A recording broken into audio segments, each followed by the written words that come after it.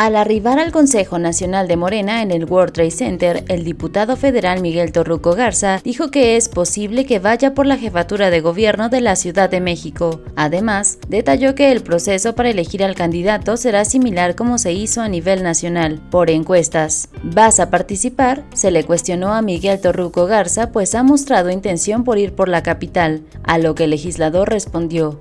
Todavía no sabemos, es posible, pero yo me considero una herramienta de transformación y estaremos apoyando, además de sumarle a la Ciudad de México y al proyecto de nación, y tenemos que tomar el ejemplo que se dio en el proyecto pasado para la continuidad del proyecto de unidad. El pasado 7 de septiembre, Clara Brugada, alcaldesa de Iztapalapa, anunció su separación del cargo para participar en la contienda electoral de 2024. Ese mismo día, Ricardo Monreal también anunció que buscará contender para la jefatura de gobierno de la Ciudad de México. En tanto, el 9 de septiembre, un día antes del arranque formal del proceso electoral rumbo 2024, en la Ciudad de México, Omar García Harfuch se separó de su cargo al frente de la Secretaría de Seguridad Ciudadana.